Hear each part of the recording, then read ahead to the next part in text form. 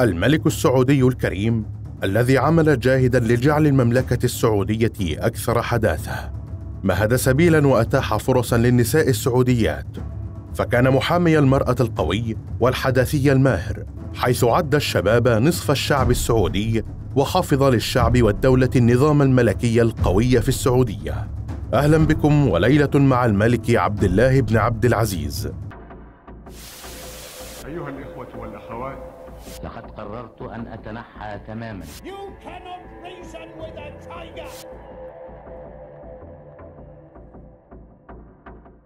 لم تخل صحيفة أجنبية من صورة للملك الراحل عبد الله بن عبد العزيز مرافقة لمقال يتحدث عن هذه الشخصية العربية والإسلامية والدولية والتي تركت بصمات فريدة على ملفات دولية عدة كان عبد الله بن عبد العزيز بن عبد الرحمن بن فيصل بن تركي آل سعود من مواليد 1924 ميلاديا. ووالده هو الملك عبد العزيز بن عبد الرحمن آل سعود موحد ومؤسس الدولة السعودية الثالثة. أما أقاربه فمن رؤساء عشائر شمر فجده لوالدته هو العاص بن كليب بن حمدان بن شريم.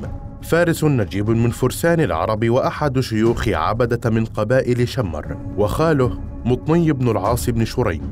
نشأ الملك عبد الله في كنف والده الملك عبد العزيز آل سعود ونهل واستفاد من خلال ملازمته لوالده التمرس في مجالات الحكم والسياسة والإدارة والقيادة. تلقى كذلك تعليمه على يد عدد من المعلمين واكتسب بهم معارفه من مطالعته الواسعة في مجالات متعددة من المعرفة والثقافة والحضارة وكانت بدايات تعليمه الرسمي في مدرسة قصر الحكم وهي المدرسة التي أنشأها الملك المؤسس عبد العزيز لتعليم أبنائه وضمت كوكبة من علماء الدين والأساتذة وفيها تعلموا القرآن الكريم والعلوم الشرعية واللغة العربية والخط والرياضيات وكان الملك المؤسس يتابع بنفسه تعليم أبنائه وتطورهم الدراسي ويوجه المعلمين لمضاعفة الجهد في تعليمهم. كما كان يشجعهم على القراءة وحفظ القرآن والاستماع إلى معلميه من العلماء والأساتذة. وكان من عادة الملك عبد العزيز أن يقيم حفلا كبيرا كلما أتم أحد أبنائه حفظ القرآن الكريم. وكان حفل الملك عبد الله في عام 1935 ميلاديا واستمر لمدة ثلاثة أيام. عرف عن الملك عبد الله بن عبد العزيز حبه للعدل والنزاهة بحسب ما تذكره المواقف التي جسدت تطبيقه للعدل والإنصاف وكما أخبرت عنه الكثير من الصحف العالمية عن المروءة وإنكار الذات والعفو والتسامح والعطف على المحتاجين والفقراء. كما عرف عنه تواضعه وتلمسه لحاجات الناس وعرف عنه أيضا محبته للعلم والعلماء وكان مهتما بالباحثين والمتميزين والمخترعين والمؤسسات العلمية والأكاديمية. وأوردت الصحيفة شهادة الرئيس الأمريكي باراك أوباما حول الملك الراحل بقوله إنه كان شخصا صريحا ولديه الشجاعة للتعبير عن قناعته كما نقلت إعجاب أوباما برؤية الراحل وعلاقة الصداقة الحميمة التي جمعت بينهما. تقلد الملك عبد الله مناصب رفيعة قبل توليه الحكم من ضمنها رئاسة الحرس الوطني إذ أصدر الملك سعود بن عبد العزيز آل سعود مرسوما ملكيا في فبراير عام 1963 ميلاديا يقضي بتعيين الملك عبد الله وهو الأمير آنذاك أميرا للحرس الوطني. وهو يعد أحد أفرع القوات المسلحة السعودية التي تأسست في عهد الملك المؤسس عبد العزيز من أبناء الرجال الذين ساندوه في مرحلة التأسيس وتوحيد وبناء المملكة. وشهد الحرس الوطني بعد رئاسة الملك عبد الله له انطلاقة كبرى في مسيرته. منذ تولى الملك عبد الله قيادة الحرس الوطني عمل على تطويره. لينتقل من مرحلة الألوية التي كان يتألف منها إلى منظومة حديثة متكاملة. من هنا تشكلت فرقة فدائيين طورت فيما بعد إلى جهاز عسكري متكامل يمثل الأركان العامة للحرس، إلى جانب ابتعاث عدد من العسكريين لاستكمال دراستهم العليا في المعاهد الخارجية. كما تعاقدت قيادة الحرس الوطني مع خبراء لتطوير الجهاز العسكري والإداري ليتخذ صفة نظامية حديثة، إضافة إلى تجهيز الحرس بأحدث الأسلحة والمعدات المناسبة.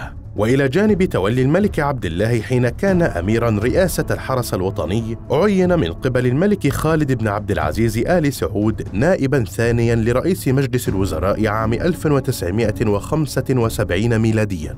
بويع بعد ذلك الملك عبد الله بن عبد العزيز ملكا للمملكة العربية السعودية في السادس والعشرين من جمادي الآخر عام 1426 هجريا أي في الثاني من أغسطس عام 2005 ميلاديا. وكان ذلك بعد وفاة أخيه الملك فهد بن عبد العزيز. وبعد توليه الحكم أصدر الملك عبد الله مرسوما ملكيا بتعيين الأمير سلطان بن عبد العزيز وليا للعهد ونائبا لرئيس مجلس الوزراء إضافة إلى كونه وزيرا للدفاع والطيران ومفتشا عاما. وبعد ست سنوات توفي الأمير سلطان في أكتوبر عام 1011 ميلاديا. وكان ذلك بسبب مرض ألم به. واختار الملك عبد الله الأمير نايف بن عبد العزيز وزير الداخلية آنذاك وليا للعهد. وبعد ثمانية أشهر من توليه المنصب توفي الأمير نايف. وعلى إثر ذلك صدر قرار الملك عبد الله في يونيو عام 2012 ميلاديا بتعيين الأمير سلمان وليا للعهد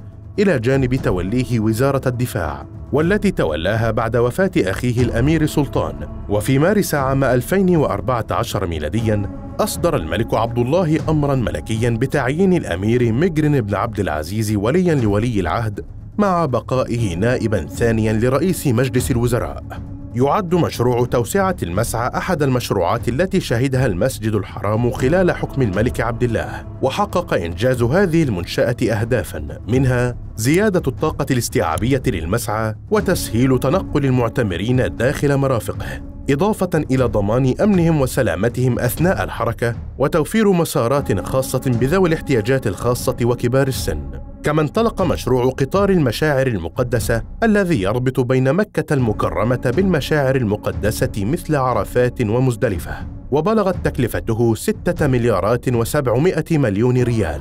أحب الملك عبد الله الشباب ورأى أن تسهيل مشروعاتهم هو تسهيل وإعمار للدولة كلها. فاهتم الملك عبد الله بإيجاد حلول للبطالة في المجتمع السعودي وذلك بدعم البنك السعودي للتسليف والادخار سابقا وهو بنك التنمية الاجتماعية حاليا وتمكينه من تلبية طلبات القروض الاجتماعية وتمويل ورعاية المنشآت الصغيرة والناشئة. وانطلاقا من أهمية توفير السكن للمواطنين وجه الملك عبد الله بدعم ميزانية الهيئة العامة للإسكان التي تحولت فيما بعد إلى وزارة الإسكان بمبلغ 15 مليار ريال وقام بتثبيت بدل غلاء المعيشة بمقدار 15% ضمن الراتب الأساسي للمواطنين واعتماد الحد الأدنى لرواتب فئات العاملين في الدولة كافة من السعودية بثلاثة آلاف ريال شهرياً.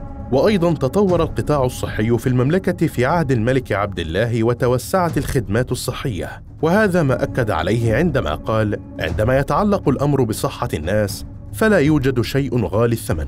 كما حسن النظام الصحي السعودي الذي تفرع منه مجلس الخدمات الصحية ونظام التأمين الصحي التعاوني لتقديم خدمات صحية عالية المستوى والجودة للمواطنين والمقيم في المملكة. وكذلك التأكيد على احقيتها المطلقة بالعلاج في أي مرفق صحي داخل المملكة دون قيود أو شروط. وعلى مستوى اهتمام الملك عبد الله بتعليم المرأة السعودية وتثقيفها كان قرار إنشاء الجامعة الأميرة نورة بنت عبد الرحمن جامعة خاصة للبنات من أوائل القرارات حين تولى الملك. ويعد مشروع الجامعة من أضخم المشروعات الجامعية على مستوى الشرق الأوسط بمساحة تقدر بثمانية ملايين.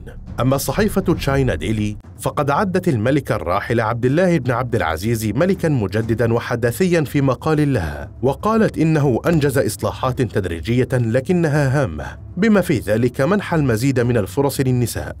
وكذلك تم إنشاء مؤسسة عبد الله الإنسانية من أجل استمرار نبع الخير والعطاء عبر مشروعات متعددة المجالات، حيث تشرف عليها المؤسسة في حياته وحتى بعد مماته. توفي الملك عبد الله بن عبد العزيز آل سعود في الساعة الواحدة من صباح الجمعة في الثالث من ربيع الآخر عام 1430 هجريا أي في الثالث والعشرين من يناير عام 2015 ميلاديا ودفن في مقبرة العود بالرياض.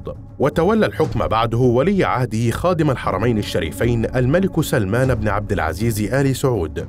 وتحت عنوان في قبر بسيط مغطى بالحصى رقد أحد أقوى رجال العالم. قالت صحيفة الديلي تريغراف البريطانية إن الملك الراحل قد يكون واحدا من أغنى وأقوى الشخصيات العالمية غير أنه رقد في قبر بسيط من الحصى في تقليد ينأى عن التكلف. كان الملك عبد الله بن عبد العزيز رجلا مقداما شجاعا ذا رأي صائب وحجة واضحة وكان صاحب مشروعات عامرة. ازدهرت المملكة العربية السعودية في عهده حتى كتبت عنه كل الصحف الأجنبية تدوينا لإنجازاته واحتفاء بتفكيره العظيم محليا وعالميا.